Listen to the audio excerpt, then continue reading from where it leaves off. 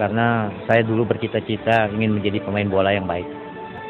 Namun karena terhambat dengan situasi, kondisi, tapi saya bercita-cita kalau saya mendapat rezeki, saya akan membuat satu organisasi sepak bola yang uh, berprestasi dan bermanfaat bagi generasi-generasi muda.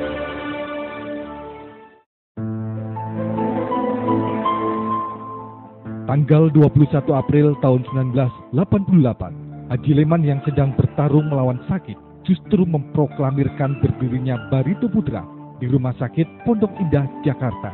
Kepada Ketua PSSI Pusat Kardono saat itu, Haji Abdus Samad Sulaiman HB yang akan menjalani operasi besar justru meminta restu membentuk Barito Putra sebagai skema sejarah yang akan diwariskan kepada warganya di Banua.